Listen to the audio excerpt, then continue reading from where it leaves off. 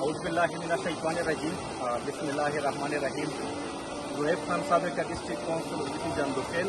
او سرا امیر دے وطن مشرون کی زیری ونون تو موقع بھی لوڑی پور میں بورڈا ادم رسول خان جان دوکیل بنتے اس طرح امیر ډیسټریکټ کوارډینیټ د ګران صاحب هغه موجود ده چونکه د ډېر وخت نه نشته یوه مسله جوړه شوه آټ دس سال نه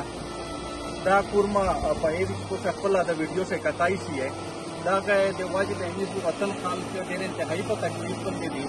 تقریبا چار هزار کانال ایګریکلچر لینډ چې په باندې باقاعده څه فصل لګېده هر سیزن باندې د ایګریکلچر لینډ د کور مې ایسای چې کیم بهاو د کلی طرف باندې روان ده خای دې سنس کړه دا دې چې ما خپل روټ ته هغه تقریبا د په موقع چې په دکی مغوړې باندې ویلوړ یې دغه نه 2 کیلومتر را لره پورته شو دا دې بیا خپل روټ او د حواله سره موږ سه میرزا خپل په یو د ډیسټریکټ انتظامیه ته سره نه را چې سیمرا مې سیاسي خلک یې هغه تمام پولیو دینه ورسو خو چون کې سوه جیا کې دای شي میرزا مطلع حل نه کړه نو د حواله سره تیر شوی پریویس ته کیم د پولیو کمپینو د علاقې وطن خلک د پولیو نه بایکاټ کړو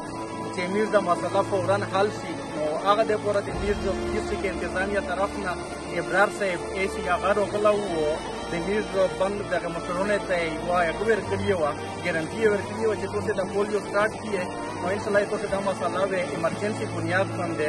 چې مشته د دې چې د ایکټیویټر ضرورت ته چې کم از کم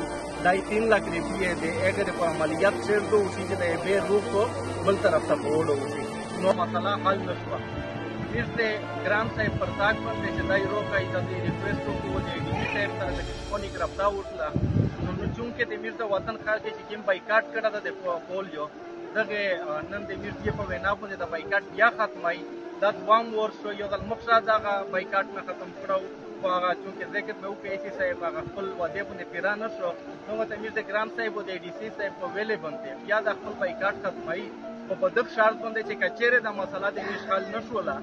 ارزون کمپاین ته بیا بایکاټ وي او زموږ ته بایکاټ وي ډېر د سیریس نوعیت وي میر به دغه خپل جنډوفیل چې سیمرا کونسل ده دا به سره میلاوي او پوره کونسل به د پولیو نه بایکاټ کوي چې میر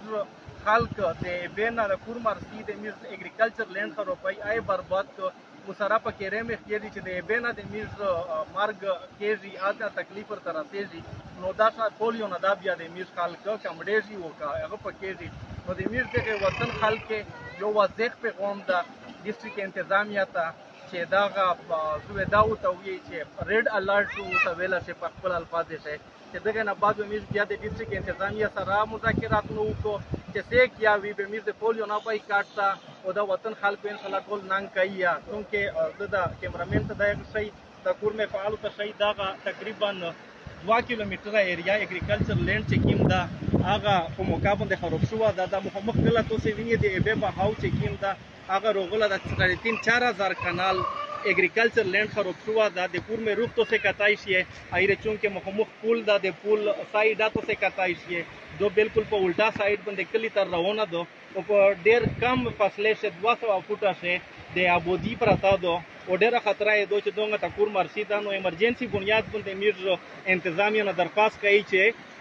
دوه درې لکه ایکسیویټر د ګنټې انتظام درته وکړو چې بیرته مو کم د مسله حل شي ډېره مهرباني الله مې لوی عزت وکړه